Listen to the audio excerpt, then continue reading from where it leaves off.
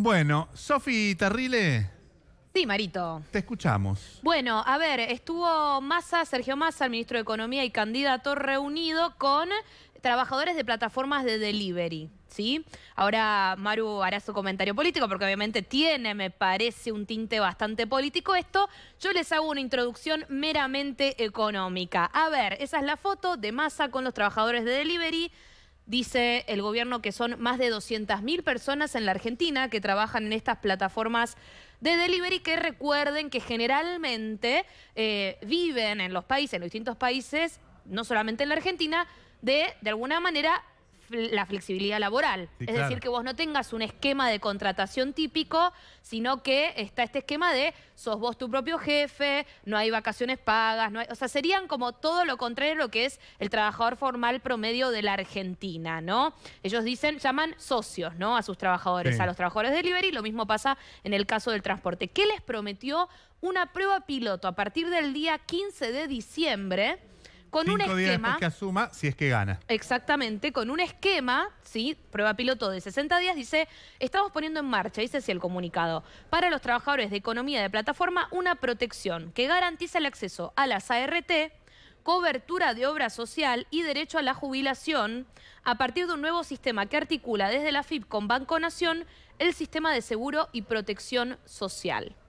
Eso es lo que plantea Massa y dice que eventualmente, está por algún lado, bueno, que van a analizar a ver si pueden sacar un proyecto de ley para que haya un nuevo tipo de relación Claro. laboral entre las plataformas y los trabajadores. Atención, porque esto puede ser muy polémico. ¿eh? De acá en adelante, obviamente del lado de las plataformas Sí, que se le van Pero también a es venir. cierto que Sí. hay sectores de laburantes y laburantas que no están contemplados en la ley. Porque son Absolutamente. nuevas eh, variantes que han surgido, Es un sobre nuevo todo a tipo de partir de, la... Exactamente. Eh, esa tiene la palabra siempre exacta. Es nuevos tipos de economía, está buenísimo, y que no están contemplados, ¿no? Exactamente, Esto es totalmente. parte de la campaña, Maru. Bueno, definitivamente. Lo que, lo que ha hecho la campaña de Sergio Massa, que se fue profesionalizando cada vez más, es ir e identificar todos los grupos o sectores donde puede haber la posibilidad de un voto eh, a lograr. Este sector eh, de los eh, Repartidores. Sí, porque iba a decir la marca, gracias, eh, Sofi. Eh, de los repartidores es un sector que viene pidiendo por la sindicalización hace bastante tiempo, que hay discusión, ¿No crees que claramente está como al, al, al margen o al borde. Maru, incluso, ¿eh? Sí, pero bueno, también en, en el mundo, pero también en particular en la Argentina, que han hecho muchas movilizaciones y demás. Hay una de las cosas que dice Massa respecto de la jubilación. ¿Van a hacer aportes o no van a hacer aportes? Ah. Lo- me lo pregunto porque el, el- el sistema previsional en la Argentina y en este caso también en el mundo está en una crisis absoluta.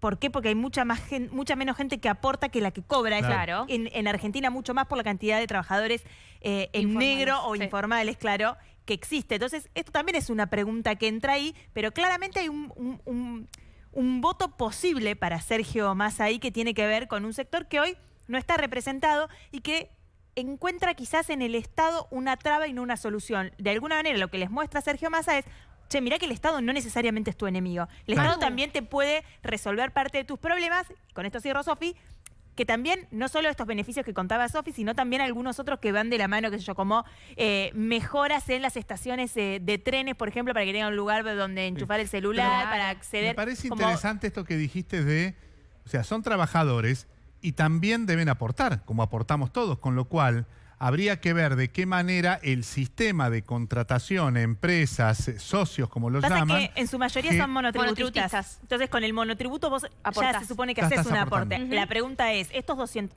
200.000 que tampoco son fijos, Sofi, ¿no?